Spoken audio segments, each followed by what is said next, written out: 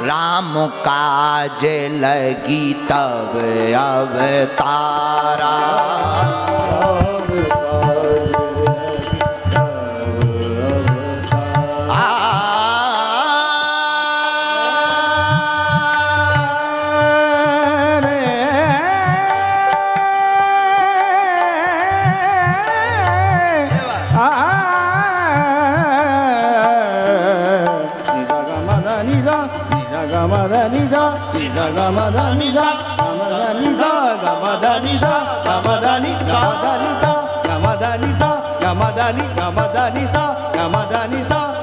राम का काज लगी तब अवतारा। हे हनुमान जी सबका जन्म किसी ना किसी कारण के लिए होता है लेकिन हनुमान जी आपका अवतार क्यों हुआ? राम काज लगी तब अवतारा। राम काज लगी तब अवतारा। राम काज लगी तब अवतारा। राम काज तब अवतारा सुनत ही भयम पर्वताकारा सुन ही भयम पर्वता तारा राम काज लगी तब।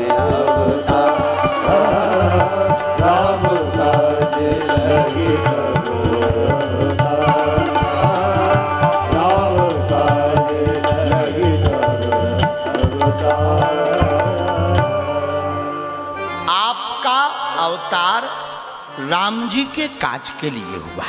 इस चौपाई का अर्थ ये है, हनुमान जी काम काज के बंदर नहीं हैं, हनुमान जी राम काज के बंदर हैं।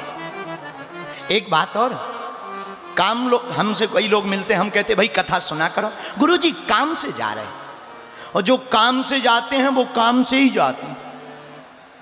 जो कथा छोड़कर काम से जाते हैं, वो काम से ही जाते हैं। हनुमान जी से किसी ने पूछा, आपका अवतार किस लिए हुआ? हनुमान जी बोले, हमें पता नहीं है। जामवंत जी किसकिंदा कांड में रामचरितमानस में कहते हैं? राम काज लगी। हे हनुमान जी, आपका अवतार राम के काज के लिए हुआ। दूसरी बात हम लोग अपना जीवन खाने पीने सोने में ही बिता देते हैं। क्या यही जीवन का लक्ष्य है? नहीं। खाना पीना, बंगला बनाना, मकान बनाना, नाम, यश, कीर्ति पाना, ये जीवन का लक्ष्य नहीं है। परमात्मा की अविरल भक्ति को पाना ही हमारे जीवन का लक्ष्य होना चाहिए। कैसे? हनुमान जी देखिए। आहा। हनुमान जी राम जी को पा गए। लेकिन फिर भी लंका गए।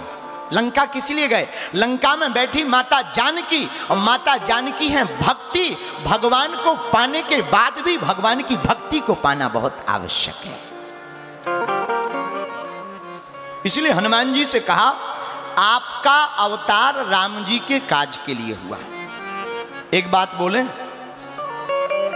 हम आपसे पूछते हैं, क्या बंदर सुंदर होता है? बोलिए हाँ जी या ना जी?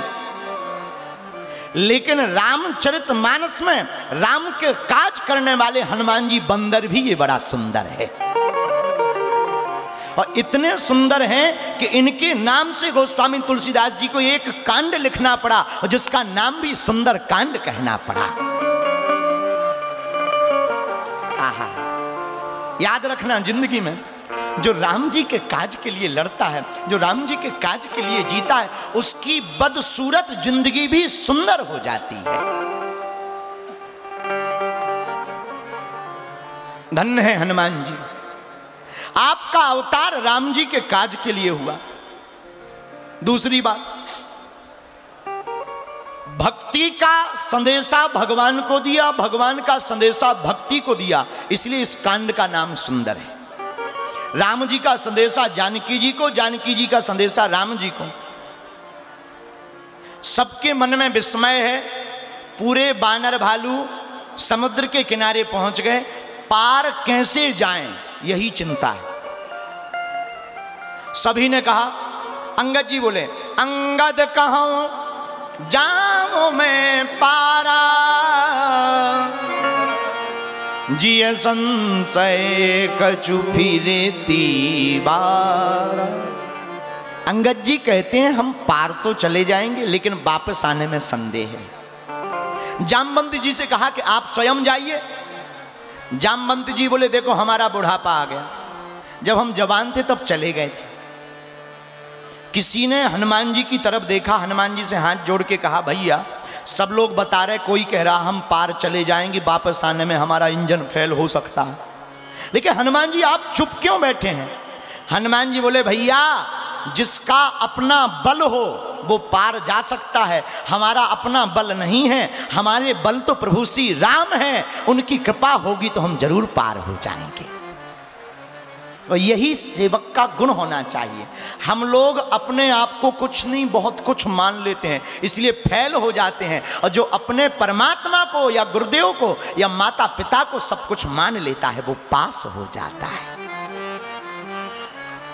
दूसरी बात, ये हमारी भूल है कि हम डूब जाएँगे।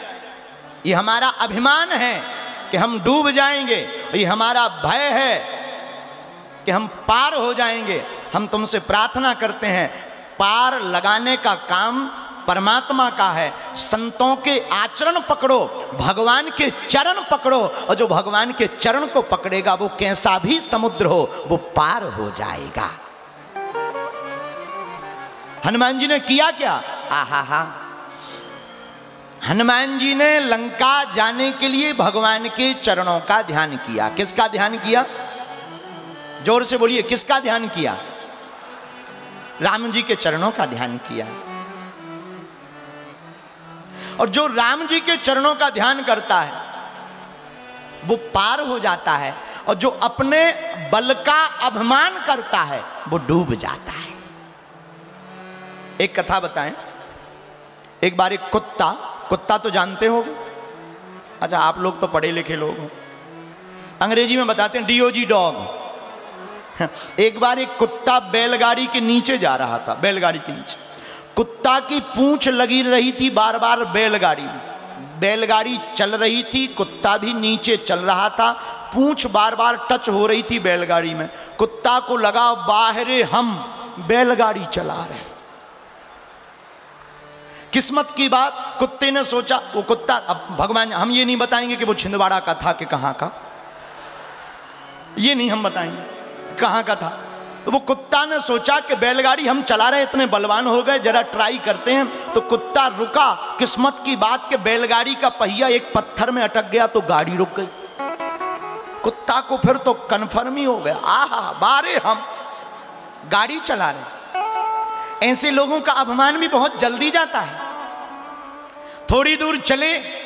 कुत्ता चलता रहा, गाड़ी चलती रही। गाड़ी के मालिक ने बैलों को निकाल दिया। केवल गाड़ी बची और गाड़ी तब तक ऊँची रहती है जब तक बैल रहे। बैल निकाल दो तो वो तुरंत रख जाती है। वही हुआ, जैसे ही बैल निकाले, गाड़ी रखी तो कुत्ता की आंतें और पसली और हड्डी सब बाहर निकल आई।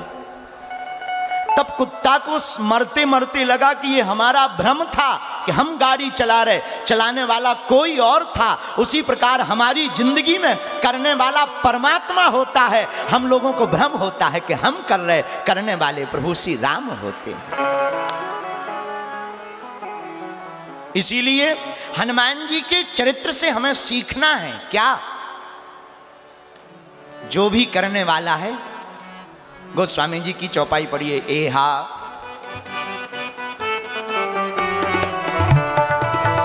ए हा।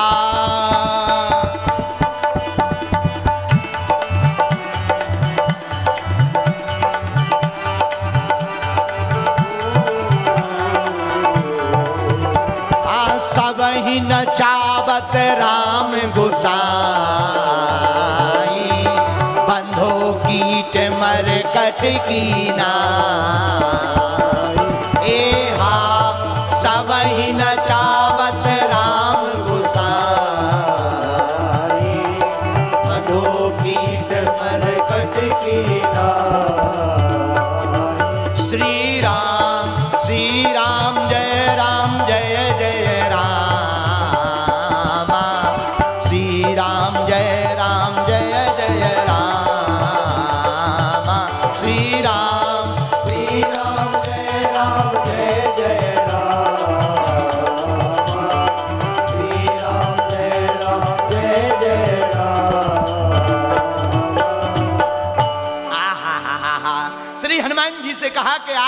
समुद्र पार करके लंका जाइएगा।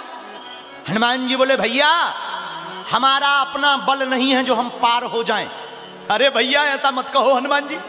राम दूत अतुलित बल धामा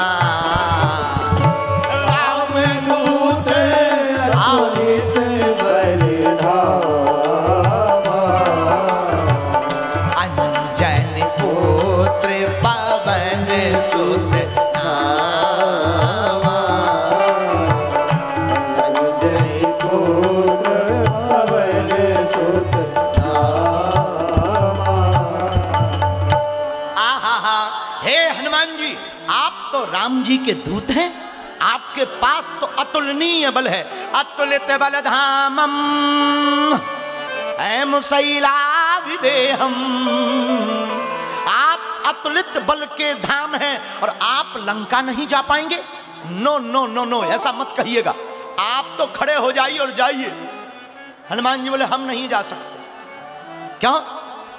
अरे, हमारा बल हो तो हम जाएँ। अब विचार किया जामवंत जी ने कि हनुमान जी जाएँगे कैसे? हनुमान जी का महिमा मनन किया। और ध्यान रखिएगा, कोई तुम्हारे महिमा का मनन कर रहा तो ज़रूरी नहीं तुम ऐसे हो। हो सकता अपना काम सटाने के लिए तुम्हारी बड़वारी कर रहा हो। जामवंत जी क्या बोले? का चुप साधी रहो बलवाना का चुप साधी रहो बलवाना। इतने बड़े बलवान होकर चुप बैठे हो और याद रखना, छिंदवाड़ा के पागलो, जो बड़ा होता है, वो बड़ा ही होता है। लेकिन बड़ा बनना बड़ी बात नहीं है। बड़ा बनकर बड़े बने रहना ये बहुत बड़ी बात है। हमसे कोई पूछे कि बड़ा कौन है तो हम एक ही बात बोलेंगे, बड़ा वही है जिसके बगल में कोई गरीब आदमी खड़ा हो और वो भी बड़ा हो जाए, वही इस भारत में सबसे बड़ा है। आहा तो धन्य है श्री हनुमान जी। हनुमान जी बोले, भैया, हम नहीं जाएँगे, नो नो नो नो, नहीं जाएँगे। अब जामवंत जी ने दूसरा बाण बाण मारा। कौन सा?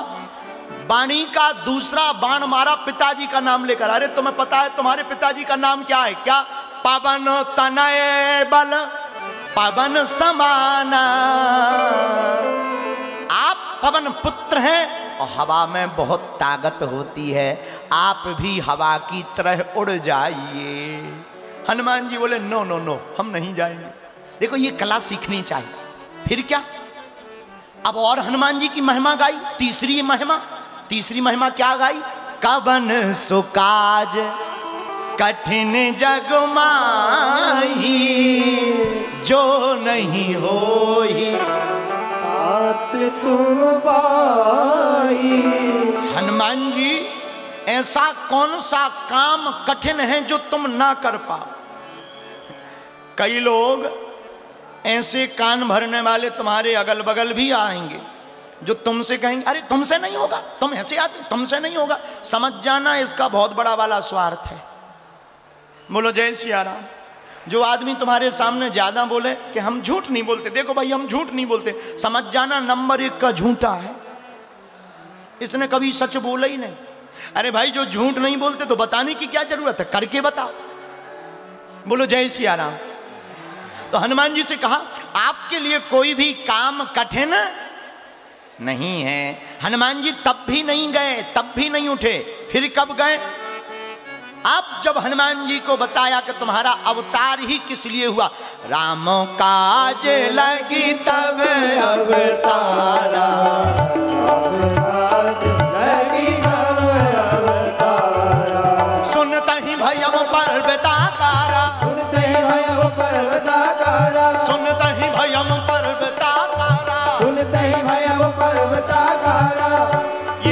चौपाई सिमरिया वाले हनुमान जी के लिए ही हमने चुनी इस कथा के लिए। क्योंकि वो भी पर्वत आकार जैसे हैं। विशाल रूप है सिमरिया वाले हनुमान जी का। और हनुमान जी विशाल कब बने? जब उनसे कहा कि, भाई साहब, चुप मत बैठो। आपका अवतार ही राम काज के लिए हुआ। तो फिर क्या? सुनता ही भयम पर्वता तारा सुनते ही भयम पर्वताकारा।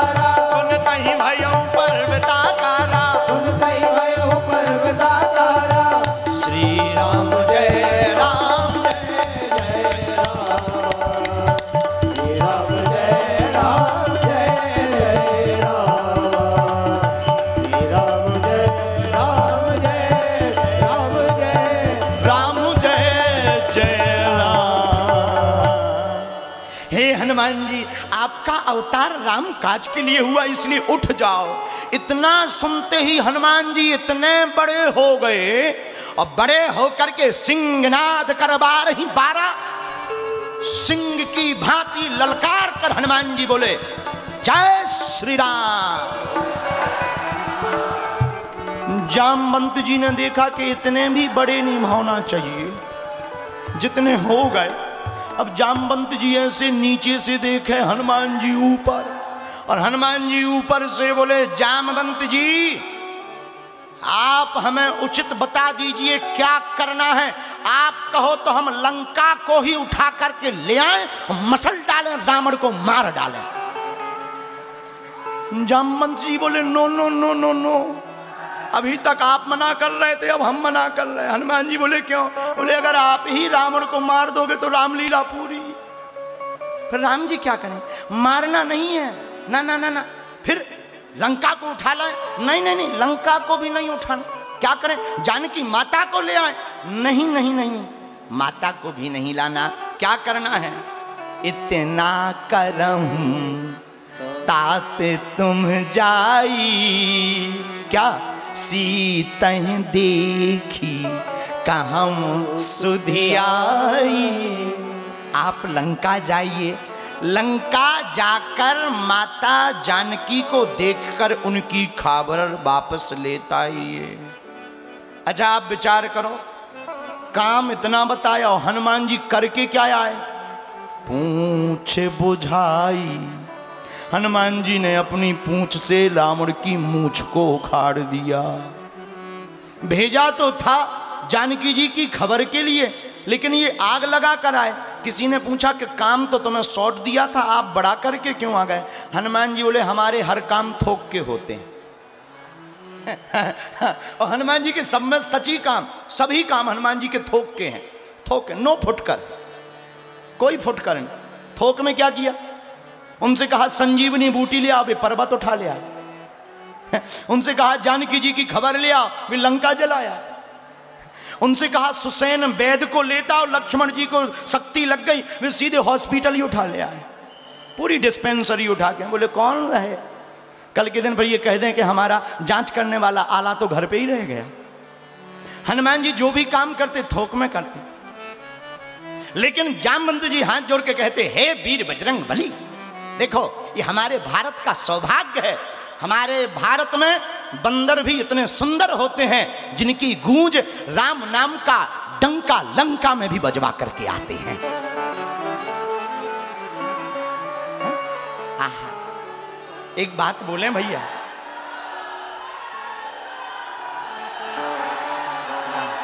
एक बात बोले।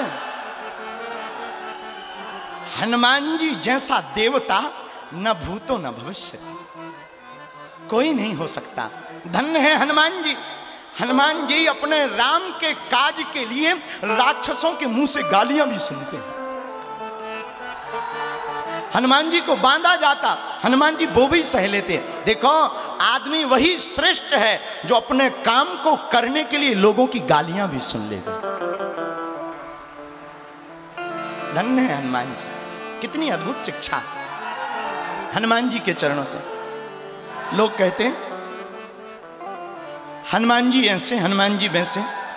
हनुमान जी ने कोई शिक्षा दी हो, ना दी हो, हनुमान जी ने सामाजिक समरसता की शिक्षा ज़रूर दी। सबको एक सूत्र में बांधा। जामवंत नल, नील, विभीषण। विभीषण जी को राम जी की खबर थी। विभीषण जी राम जी के दर्शन के लिए ललायत। हनुमान जी माता जानकी के दर्शन के लिए लड़ाए हमारे एक प्रिय हैं, भजन गायक मित्तल जी उनका एक, दो लाइनें हमें याद आती थी। दिया नहीं बचा तो बाती का क्या करोगे? सनातन नहीं बचा तो फिर जाति का क्या करोगे? है? कितनी ऊँची बात है। और धन्य है भारत देश, जहाँ प्रभु श्री राम वन में जाकर माता सबरी के जूठे बेरों को खाते धन्य है भारत देश, जहाँ भगवान श्री कृष्ण दुर्योधन की छप्पन भोग को त्याग कर विदुरानी के घर पर साग का भोग लगाते हैं। धन्य है हनुमान जी, लंका में भी विभीषण का पता खोज लेते हैं। हनुमान जी, आप लंका जाइए, पर सुनिए इतना करम ताते तुम जाई। सीत देखी, कहूँ सुधियाई हनुमान जी लंका गए और यहाँ विद्वान बैठे हुए हैं। महाराज जी, हनुमान जी समुद्र पार अगर किए हैं तो केवल बंधन के बल पर। किस बल पर? बोलिएगा, किस बल पर? अरे बोलिए ना। बंधन। बंधन का मतलब प्रणाम। प्रभु श्री राम को हृदय में रख कर जो भी कोई काम करेगा, उसका काम की जय जयकार अवश्य हो जाएगी। धन्य है हनुमान जी। हनुमान जी ने बंधन किया। और देखो, हनुमान जी पार गए बंधन से। बंधन से नहीं। हम लोग बंधन में हैं। और बंधन में किसके? माया के, वासनाओं के, कामनाओं के बंधन में है। और इन बंधन से बचना है तो हनुमान जी का बंधन करना बहुत ज़रूरी है।